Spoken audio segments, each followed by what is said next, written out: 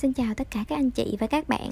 Thì mình vừa được một ừ, chị sếp giới thiệu cho một cái phần mềm khá là hay. Mình đã cài thử sử dụng và thấy nó cũng khá hữu ích nên hôm nay mình quyết định làm một cái clip này để chia sẻ uh, cho tất cả mọi người. Có thể là một số anh chị mình đã biết về cái à, phần mềm này rồi. À, tuy nhiên có một số anh chị chưa biết à, mình à, đó là một cái phần mềm à, dùng để theo dõi cái nồng độ oxy trong máu à, nhịp tim nhịp thở của mình. Nó có à, dựa vào cái smartphone và cái phần mềm thì mình có thể theo dõi tại nhà. Nó có thể thay thế à, được Ờ, cái ờ, máy giống như là cái máy đo SpO2 di động của một số bác sĩ.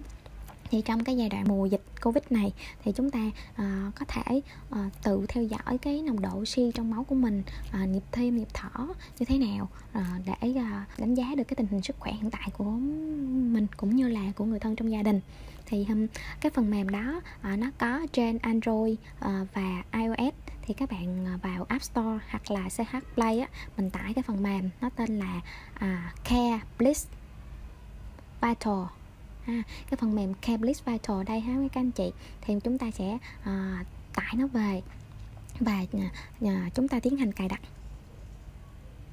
Ha, mình sẽ mở lên ha. Và có cái biểu tượng như vậy thì mình sẽ tiến hành à, cài đặt mình vào cái mục đăng ký. À, các à, anh chị và các bạn mình tiến hành đăng ký ha. À, cái phần đăng ký nó cũng khá đơn giản nó chỉ gồm là mình đăng ký tên của mình nè à, giới tính nè à, đăng ký ngày tháng năm sinh ha. À và nó có hợp có một cái địa chỉ email nữa mình cũng đăng ký cái địa chỉ email của mình vào. À, rồi mình chọn à, quốc gia. À, mình chọn quốc gia là mình chọn Việt Nam. Ừ. à, mình chọn Việt Nam ha. Rồi à, và mình cài đặt cho cái à, à, cái phần đăng ký này một cái password ha.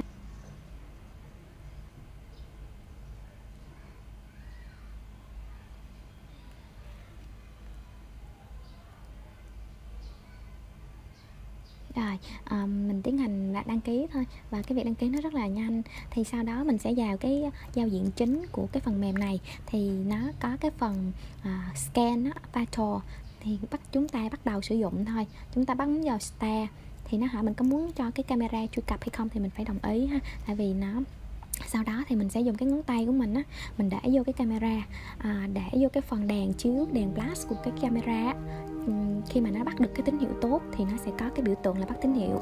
À, và sau đó mình phải để yên à, trong vòng khoảng 30 giây thì cái máy nó sẽ tiến hành phân tích. Cái um, mọi người thấy ha nó đang load nè nó đang lót cái phần phân tích. Thì cái phần phân tích này sẽ có ba một thứ nhất đó là nồng độ oxy nè SpO2 nè.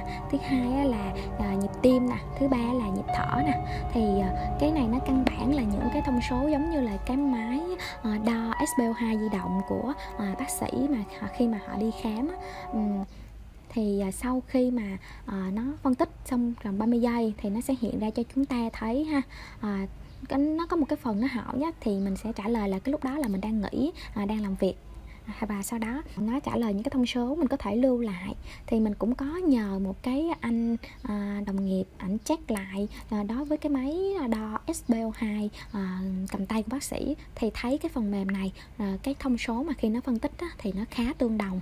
Do vậy thì chúng ta có thể được áp dụng được à, để à, kiểm tra cái tình trạng sức khỏe cái nồng độ oxy trong máu của mình nhịp tim nhịp thở à, cho bản thân cho gia đình đặc biệt là trong cái mùa dịch này rất là khó khăn để tiếp cận ừ, để đi khám bệnh hay gì đó. Và khi mà mình thấy có những cái thông số nó bất thường ví dụ như thường SPO2 của mình nó là từ 95% trở lên nếu mà mình thấy nó thấp ha thì à, à, mình sẽ à, điện thoại à, nhờ tư vấn hoặc là nếu mà cần có cái triệu chứng gì đó thì mình phải đi khám à, hoặc là à, gọi điện thoại đến những cái nơi à, các trung tâm y tế để được tư vấn ha xin cảm ơn các bạn đã à, theo dõi cái à, đoạn clip này.